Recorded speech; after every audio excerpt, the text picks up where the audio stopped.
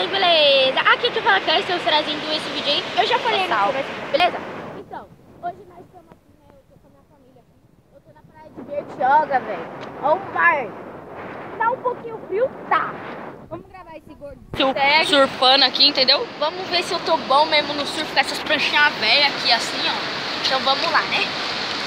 Tá gelado. Oh, o ruim é que meu celular não é a prova d'água. Senão dava pra nós ir de boa. Entendeu? Isso que dá ser pobre. não te falo nada.